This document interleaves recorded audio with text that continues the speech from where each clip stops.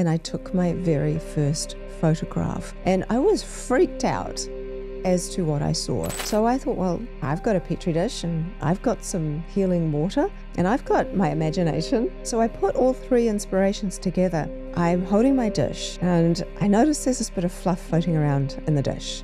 So I was like, oh God. So I put my hand out and I pulled out the fluff. And I, I organically thought, oh, I wonder if my hand would have any impact on the water's quote unquote memory. I thought, well, that thought will do. And I put it into the freezer with the peas and broccoli and everything else. I took it out several hours later.